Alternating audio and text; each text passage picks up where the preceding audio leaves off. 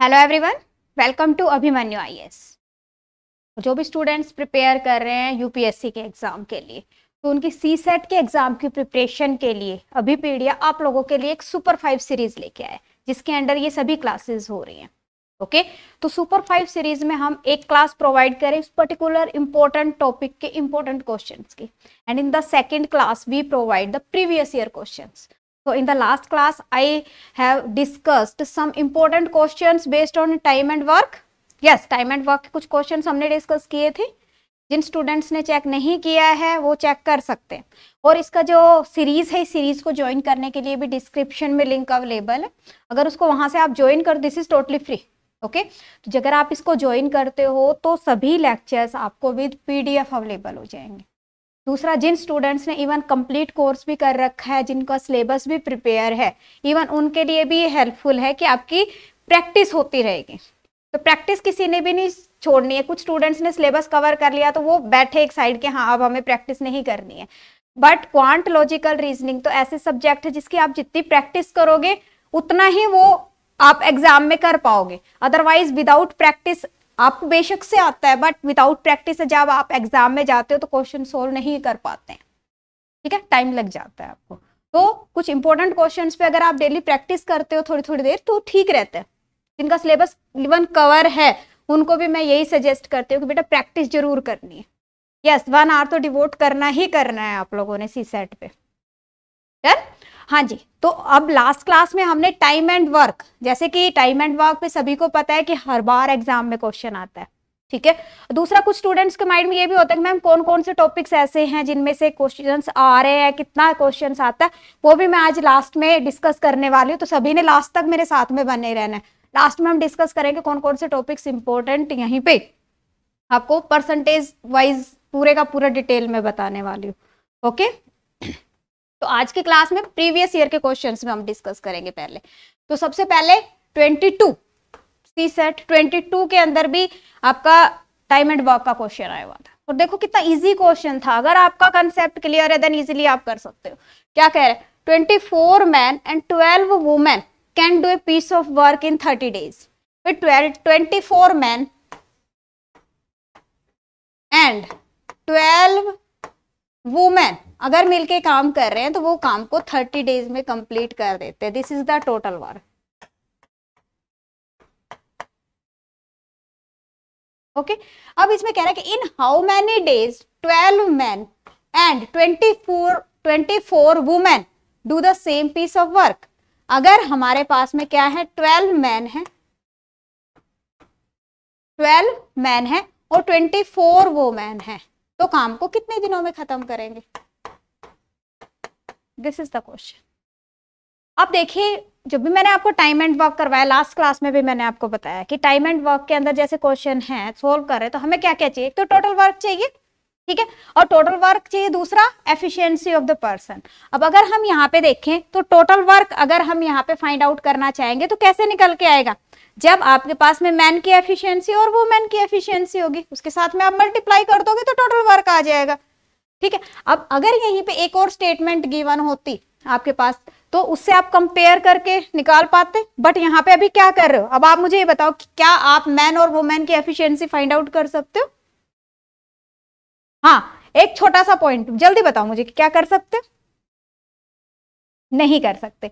नहीं कर सकते तो यहाँ पे आंसर क्या बनेगा अपने पास में? Data is inadequate to draw any conclusion अब एक और इंपॉर्टेंट पॉइंट आपको बताती इसी क्वेश्चन के अंदर। अगर यहाँ पे अपने क्वेश्चन के अंदर एंड की बजाय आ जाता और 24 मैन एंड 12 वुमेन लिखा हुआ ना? तो इसकी जगह पे होता ट्वेंटी फोर मैन और 12 women can complete the work in 30 days in how many days जो भी आगे को जो भी कंडीशन आपके पास में in that case can you solve the question yes definitely अगर यहाँ पे अपने पास में और होता तो इन दैट केस हम मैन और वुमेन की एफिशिएंसी फाइंड आउट कर सकते थे। रेशियो निकल जाती है आपके पास में। And you can solve the question okay yes अब देखो, इसीलिए कह रही हूँ कि बेटा देखो, जो छोटे छोटे पॉइंट्स है वो आपके क्लियर होने चाहिए। सिर्फ़ इस छोटे से पॉइंट की वजह से क्वेश्चन चेंज हो जाएगा। अगर कोई डाउट आता है तो मुझे कमेंट सेक्शन में कमेंट करके बता देंगे हाँ जी नेक्स्ट पे आते हैं। नेक्स्ट क्वेश्चन है। A man complete seven by eight of the job twenty one का क्वेश्चन है बेटा। A man complete seven by eight of the job in twenty one days how many more days will it take him to finish the job if quantum of the work is further increase by fifty percent fifty percent work बढ़ा दिया है। अब बताओ उसको कितने दिन लगेंगे? तो यहाँ पे देखिए seven by eight of the of total work कितने दिनों में खत्म हो रहा है? ट्वेंटी वन डेज़ में। दैट मीन्स कि टोटल वर्क को कंप्लीट करने के लिए कितने दिन की ज़रूरत पड़ेगी? Seven by eight that means की twenty four days total work कितने दिनों में खत्म होगा? ट्वेंटी फोर डेज़ के अंदर। Okay okay? अब यहाँ पे seven by eight work complete हो रहा है twenty eight twenty one days में, ठीक है?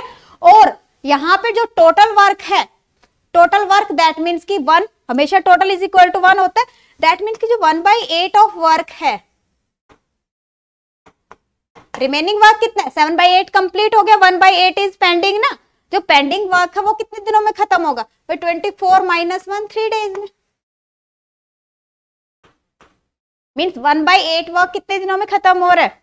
थ्री डेज़ के अंदर। ओके अब यहाँ पे उसने यहाँ पे क्वेश्चन में थोड़ा सा लॉजिक यहाँ पे क्या लगाया है स्टूडेंट्स को कंफ्यूज करने के लिए? यहाँ पे उसने कहा कि if the quantum of work is further increase by 50 percent means की 50 परसेंट वर्क बढ़ गया है। 50 परसेंट वर्क यहाँ पे हमारे पास में बढ़ गया है। दैट मीन्स की पहले टोटल वर्क कितना था हमारे पास में? 24 जो हमारे पास में जो टोटल वर्क था, वो अब कितना बढ़ गया है हमारे पास में? हाँ जी। हमारा जो वर्क है वो कितना बढ़ गया? फिफ्टी परसेंट बढ़ गया। फिफ्टी परसेंट बढ़ गया। अब हम देख रहे हैं कि जो हंड्रेड परसेंट वर्क है, उसमें कितना टाइम लग रहा है? ट्वेंटी फोर डेज़ जो फिफ्टी डेज़ का वर्क बढ़ गया है तो फिफ्टी परसेंट वर्क को कितना टाइम लगेगा? ट्वेल्व डेज़ तो ट्वेल्व डेज़ तो ये लग गए और थ्री डेज़ ये लग गए। तो टोटल कितने डेज़ हुए बेटा? Twelve plus three fifteen days तो answer will be fifteen days हाँ जी, कोई डाउट कोई डाउट इसके अंदर? अगर थोड़ा कंफ्यूजन टोटल वर्क का तो आप इसको ऐसे भी कर सकते हो भाई टोटल जो वर्क है, यहाँ पे सेवन बाई एट है ना? है ना? Total work is eight unit total work is eight unit seven units तो कंप्लीट हो गई, बच गई एक यूनिट एक यूनिट कितने टाइम में कंप्लीट हो रही है? थ्री डेज़ के अंदर. ठीक है? अब वो कह रहा है फिफ्टी परसेंट वर्क बढ़ा दिया। दैट मीन्स की फोर यूनिट और बढ़ गई। फोर यूनिट और बढ़ गए तो एक यूनिट कंप्लीट हो रही है थ्री डेज़ में। फोर यूनिट्स कितने दिनों में कंप्लीट होगी? ट्वेल्व डेज़ के अंदर टोटल फिफ्टीन डेज़ लगेंगे। Now it's up to you कि हाँ हमारी सोच कैसे जाती है? तो लॉजिकली आपको स्ट्रोंग होना पड़ेगा। नेक्स्ट क्वेश्चन यहाँ पे देखिए। हाँ जी। This question was asked in CSAT 2020 2020 का क्वेश्चन है। क्या question a person can complete 20% of work in 8 days and another person y can complete 25% of work 6 days if they work together in how many days will 40% of the work be completed 40% work कब complete होगा तो अब देखो यहाँ पे 20% work जो है वो 8 डेज़ में हो रहा है दैट मीन्स कि 100% वर्क कितना हो जाएगा 40 डेज़ में ओके? इसी तरह से अगर हम बात करें यहाँ पे 24 परसेंट ये किसके लिए हमारे पास में? एक्स के लिए। ठीक है? दूसरा जो पर्सन है वाई वाई के लिए क्या कह रहा है? 25 परसेंट ऑफ़ वर्क कितने दिनों में कर रहा है? सिक्स डेज़ में? हाँ जी 100 परसेंट फोर टाइम्स 24 डेज़ के अंदर।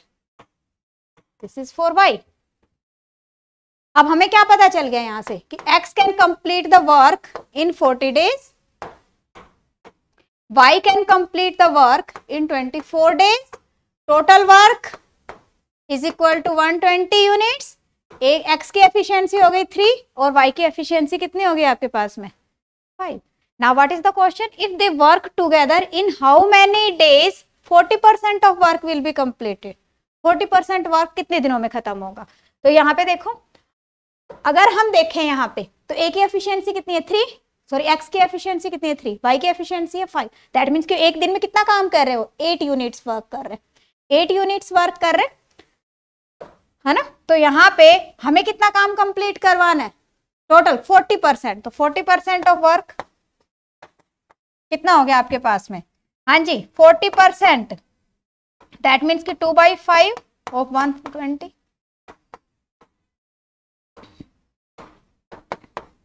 forty eight units okay? Time कितना लगेगा? एक्स और वाई को। Forty eight by eight that means six days answer will be six days और अगर आपका लॉजिकली स्ट्रॉन्ग हो तो देखो इसको डायरेक्टली कर सकते हो। ये वाले पॉइंट्स ना, आपको कुछ लिखने की ज़रूरत नहीं है। डायरेक्टली देखो twenty percent is equal to one by five one is equal to five into eight ठीक है? Twenty five percent is equal to one by four one by four work कर रहा है सिक्स डेज़ में one twenty four days clear कोई minor सा doubt I hope सभी को क्लियर है ना? चलो नेक्स्ट देखते हैं अब ये वाली जो टाइप है बेटा, ये बड़ी इंपॉर्टेंट है। इसको वैसे मैं सिंप्लीफिकेशन के अंदर कंसीडर करती हूँ। Because this is a logical question logical question but है एक तरह से जो कंसेप्ट यहाँ पे यूज़ होता है, वो टाइम एंड वर्क का कंसेप्ट यूज़ होता है। ठीक है? तो इसलिए मैं यहाँ पे आपको अभी टाइम एंड वर्क के अंदर करवा रही हूँ। ये वाली जो टाइप है, ये टाइप रिपीटेडली एग्ज़ाम में आ जाती है। स्टेट वाले एग्ज़ाम जो स्टेट सिविल सर्विसेज़ के एग्ज़ाम में, उसमें भी ये वाली टाइप आ जाती। है ठीक है? और जो यूपीएससी है यूपीएससी के अंदर भी ये वाली टाइप आ जाती है। 2017 के अंदर भी सेम टाइप पूछी गई थी। उसके बाद 2020 के अंदर भी सेम टाइप एग्ज़ाम के अंदर आई हुई थी। ठीक है? क्या है? पहले क्वेश्चन को रीड कर कहता है frog tries to come out a dried well 4.5 metre deep with slippery walls every time the frog jumps 30 centimetre slides down 15 centimetre what is the number of jumps required to, for the frog to come out the well? Well के अंदर से उसको बाहर निकालने में कितनी jumps की ज़रूरत पड़ेगी? अब देखो, अगर हम देखें this is the well okay और ये क्या कह रहा है? जो वेल है वो कितना है? 4.5 मीटर दैट मीन्स कि 450 सेंटीमीटर का वेल है। अब फ्रॉग क्या कर रहा है? जब वो जंप लगा रहा है तो 30 सेंटीमीटर जा रहा है और उसके बाद में 15 वापस बैक आ रहा है। दैट मीन्स कि सिर्फ़ 15 सेंटीमीटर ही अप जा पाता है। इन वन जंप ना what comes in our mind कि भाई अगर वो एक जंप के अंदर 15 सेंटीमीटर तक ही जा पाता है। उस केस के अंदर हमें यहाँ पे कितना टाइम लगना चाहिए? कितनी जंप की ज़रूरत पड़नी चाहिए? भाई 450 सेंटीमीटर का वेल है जिससे बाहर निकलना तो मैक्सिमम स्टूडेंट्स इसका आंसर करके आते हैं। 450 सेंटीमीटर का वेल है, एक जंप में 15 दैट मीन्स की 30 जंप्स की रिक्वायरमेंट हो गई। और वो हो जाता है आपका रोंग। तो जो इस तरह का क्वेश्चन उसमें एक पॉइंट का आपने ध्यान रखना है। देखो बेटा, जब वो यहाँ पे पहुँच गया ठीक है? अब जब उसने जंप लगाई कितनी? थर्टी सेंटीमीटर की जंप लगाएगा तो सीधा ही नहीं आ जाएगा वो बाकी वापिस क्यों स्लिप करेगा? वापिस स्लिप थोड़ी ना करेगा वो। जैसे ही उसने थर्टी सेंटीमीटर की जंप लगाई he will out from the well जो जो जो स्लिप करके वापस 15 सेंटीमीटर आ रहा है, वो थोड़ी ना हम कंसीडर करेंगे। ओके सो यहाँ पे ध्यान रखो कि जब वो थर्टी सेंटीमीटर तक है, पहले उसको चेक करो। दैट मीन्स कि यहाँ तक जब वो पहुँचता है फोर ट्वेंटी सेंटीमीटर तक, तब तो वो फिफ्टीन की एवरेज से जा रहा है भाई थर्टी गया फिफ्टीन वापस आ गया, फिर थर्टी अप गया, फिर फिफ्टीन वापस आ गया। दैट मीन्स वट कि यहाँ पे हाँ जी, उसको कितनी जंप्स की रिक्वायरमेंट है यहाँ तक पहुँचने के लिए? फोर ट्वेंटी और एक जंप में कितना अब जा रहा है? ठीक है? तो ये हो गया आपके पास में ट्वेंटी एट जम्प्स बारह एक सौ बीस। दिस इज़ एट अब ट्वेंटी एट जंप के अंदर वो यहाँ पे आ गया। मतलब थोड़ा सा ऊपर जाके स्लिप करके यहाँ पे वापस आ गया। ठीक है? अब उसने सीधी थर्टी मीटर की थर्टी सेंटीमीटर की जंप लगाई और वो बाहर आ गया। दैट मीन्स की जो ट्वेंटी नाइन्थ जब जंप लगाएगा तो वो क्या हो गया? आउट ऑफ़ द आंसर कितना आ जाएगा आपके पास? Twenty nine will be the correct answer twenty nine will be the correct answer ये वाली टाइप काफ़ी ज़्यादा इंपॉर्टेंट है। आप देखो सेवनटीन में आया था इस टाइप का क्वेश्चन फिर ट्वेंटी में आया है, ठीक है? तो ट्वेंटी थ्री में भी हम ये वाली टाइप एक्सपेक्ट कर सकते हैं। तो इसमें डिफरेंट डिफरेंट टाइप के क्वेश्चन हो जाते हैं फ्रॉग हो गया, कुछ और मतलब condition same type of condition मिल सकती है। ओके तो इन पे अच्छे से प्रैक्टिस कर लेनी है सभी चलो नेक्स्ट देखिए 2019 में क्वेश्चन नहीं था 18 में आया हुआ था बेटा। 18 में क्या है? A lift has capacity of 18 adult और 30 चिल्ड्रन अब देखो यहाँ पे और है। और है। दैट मीन्स कि we can compare and we can find out the ratio of the efficiency of adult and child है ना? क्लियर तो यहाँ पे आपके पास और है that means we can calculate how many children can board the lift with twelve adult फिर ट्वेल्व अडल्ट तो है ही, उसके अलावा कह रहे हैं कि कितने और चाइल्ड आ सकते हैं। तो यहाँ पे इस स्टेटमेंट से मुझे क्या मिला कि भी जो 18 एडल्ट हैं they are equal to 13 children that means what कि यहाँ पे आपके पास में जो अडल्ट है one adult is equal to thirty by eighteen children clear तो यहाँ पे हमारे पास में अगर हम देखें छेती अठारह छह पंजे तीस दैट मीन्स कि फाइव बाई थ्री चिल्ड्रन के इक्वल हो गया। इसमें किसी को कोई भी माइनर सा doubt now what is the question how many children can board in the lift अब कितने चिल्ड्रन जा सकते हैं लिफ्ट के अंदर? हमें पता है कितने। हाँ सॉरी थर्टी चिल्ड्रन और साथ में उसने क्या कहा कि कितने चिल्ड्रन चाहिए ट्वेल्व अडल्ट के साथ में? प्लस ट्वेल्व अडल्ट अब हमें पता है कि जो टोटल अडल्ट कितने जा सकते हैं? एटीन एटीन अडल्ट जा सकते हैं? तो एटीन अडल्ट तो सिक्स तो ये है ट्वेल्व तो यहाँ पे है दैट मीन्स कि सिक्स अडल्ट और जा सकते हैं। दैट मीन्स कि कितने चिल्ड्रन होने चाहिए? सिक्स अडल्ट के equal okay and one adult is equal to one adult is equal to five by three children okay, और तो सिक्स अडल्ट किसके इक्वल हो जाएँगे बेटा? Five by three into is equal to ten children answer will be ten children अभी इतना कुछ ना आपको समझाने के लिए लिखना पड़ रहा है। अब देखो यहाँ पे, इसको डायरेक्टली नहीं कर सकते थोड़ा सा लॉजिकली सोचो। तूने क्या कहा? अठारह एडल्ट है, तीस चिल्ड्रन है। ठीक है? अब उसके बाद में कह रहा है कि बारह के साथ में कितने और जा सकते हैं? यहाँ पे कितना है? बारह। यहाँ पे कितना है डायरेक्टली हमारे पास में ट्वेल्व यहाँ पे कितना सिक्स दैट मीन्स कि सिक्स अडल्ट और जा सकते हैं। अब six adult eighteen adult is equal to thirty one is equal to thirty by eighteen six is equal to into six that means कितना हो गया सीधा सीधा? हाँ जी टेन आ जाएगा। Clear there is any need to write down no तो बार बार रिपीटेडली कहती हूँ मैं सभी को, बेटा लॉजिकली क्वेश्चंस को देखने की कोशिश करनी है। क्योंकि एग्ज़ाम में कुछ भी आ सकता है। एज इट इज़ क्वेश्चन नहीं मिलेगा। डन सो आई होप जो आज हमने कुछ क्वेश्चंस डिस्कस करे, सभी को क्लियर है? सभी को क्लियर है? अगर आपको लगता है कि हाँ this series is helpful in that case you will like the video share with your friends and the third point subscribe the channel okay सभी ने सब्सक्राइब करना चैनल को। अब बात करते हैं कि हाँ प्रैक्टिस के लिए क्वेश्चंस की मुझे ज़रूरत है तो मैं कैसे फाइंड आउट करूँ? ठीक है? अगर मुझे कंसेप्ट क्लियर करने हैं तो मैं कैसे फाइंड आउट करूँ? कुछ स्टूडेंट्स के माइंड में ये भी होता है कि प्रैक्टिस तो हम बुक से भी कर लेंगे बट जो कंसेप्ट है वो कहाँ से सीखे? जो लॉजिक है वो कहाँ से फाइंड आउट करें? इजी वे से। तो उस केस के अंदर बेटा, हम ना माइक्रो वर्सेस प्रोवाइड कर रहे हैं। अभी पीडिया की तरफ़ से। ठीक है? ये जो लिंक है इस पर्टिकुलर लिंक को मैंने डिस्क्रिप्शन में आपको प्रोवाइड किया है। डिस्क्रिप्शन से आप लिंक को ले लेंगे। अब यहाँ पे देखो सभी के सभी माइक्रो कोर्सेज अवेलेबल हैं।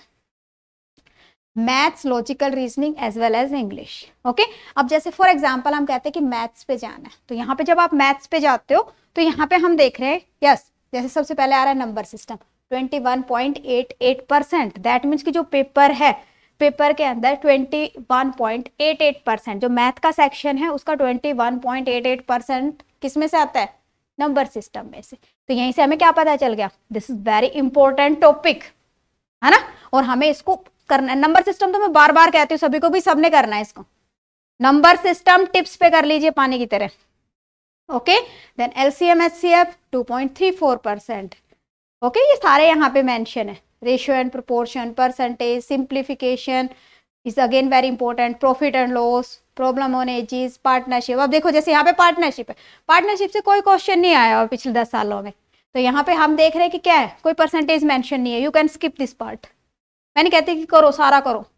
थोड़ी सी स्मार्टनेस देखो कि हाँ जिनसे, जिन टॉपिक से आ रहे हैं, उनको करो आप। ये आ गया हमारे पास टाइम एंड वर्क और टाइम एंड वर्क से क्वेश्चन आ रहे three point five two percent. That means कि इसमें से क्वेश्चन मिल रहा है। हमें एक क्वेश्चन तो मिल ही रहा है। दैट मीन्स कि हमें इसको करना चाहिए। अब टाइम एंड वर्क के अंदर भी अगेन आप यहाँ पे देख सकते हो।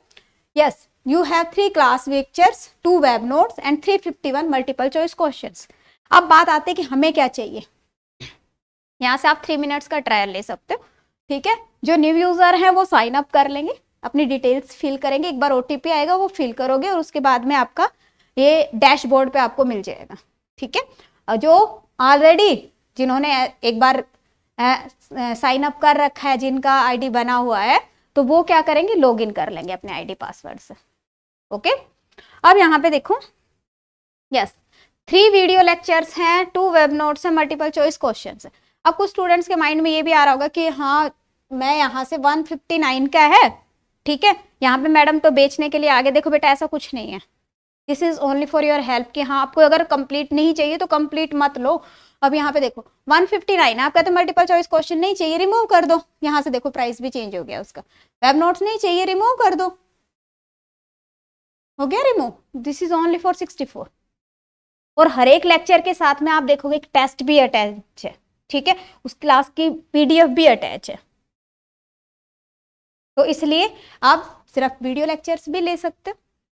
अगर आप कहते हो कि नहीं, मुझे तो मल्टीपल चॉइस क्वेश्चंस भी चाहिए प्रैक्टिस के लिए तो ये आपको टेस्ट की फॉर्म में मिल जाएँगे, इसको ऐड कर लो। Okay you can customize it तो जो भी स्टूडेंट्स अवेल करना चाहते हैं, यहाँ से कर सकते हो डिस्क्रिप्शन में लिंक अवेलेबल है। और यहाँ से आप ये भी चेक कर सकते हो कौन कौन से टॉपिक्स इंपॉर्टेंट है, उसके अकॉर्डिंग अपनी प्रिपरेशन कर सकते हो। Done so I hope it was a good session for you कि आप लोगों को कुछ प्रॉपर तरीके से आप अपनी स्टडी कर सको, एक स्ट्रेटजी बना सको कि कैसे मैंने प्रिपेयर करना है सी सेट के लिए। तो वहाँ पे भी हेल्पफुल रहेगा। तो अगर फिर भी कोई माइनर सा कोई डाउट आता है आपको तो उस केस के अंदर आप मुझे कांटेक्ट कर सकते हो। जो नीचे कमेंट सेक्शन है कमेंट सेक्शन में अपना कॉन्टैक्ट नंबर लिखिए I will call you okay so thank you so much